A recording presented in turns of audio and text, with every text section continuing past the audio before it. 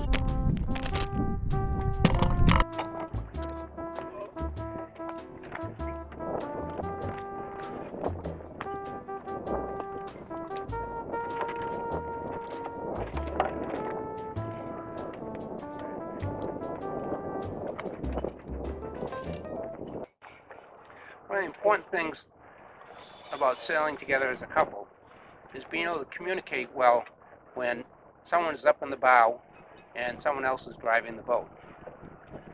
Now, from my experience, uh, driving the boat is the activity requires the least strength and agility.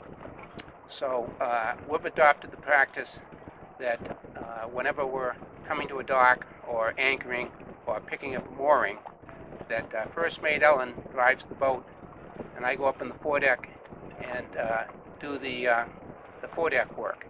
Um, and for that to work well, we need a means to communicate clearly and effectively. Because when I'm at, up at the bow or forward on the boat, and Ellen is driving with the engine running, uh, she really can't hear what I say when I'm up front. So to solve that problem, what we've done is we've worked out a series of hand communication signals which allow me to effectively uh, tell Ellen uh, how to handle the boat. Um, we find this to be really useful when we're uh, anchoring or picking up a mooring uh, or coming into a dock. Now when we're picking up a mooring, the problem that the driver has is as the, the boat gets within one or two boat lengths of the mooring, it disappears under the bow and the person driving can't actually see it. So those last two boat lengths, to be able to bring the boat up to the mooring and to stop it right at the mooring, really requires communication between the foredeck and the driver. And that's where the hand signals are really useful.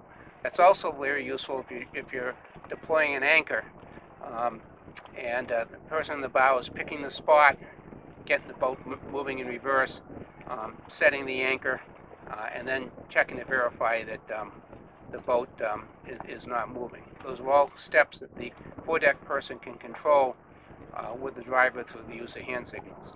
So we're going to show you how the hand signals work and we'll give you some demonstrations of them.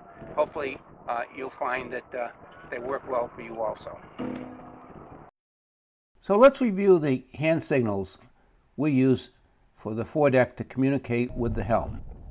Start with a reciprocated wave to confirm that both parties are ready to participate. Shift to forward. Shift to reverse. Shift to neutral.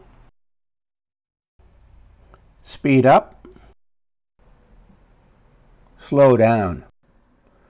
Turn to starboard turn to port, go straight ahead.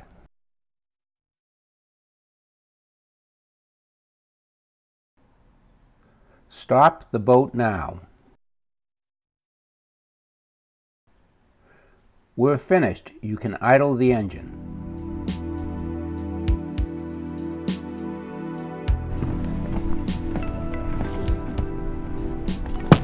Okay, over here.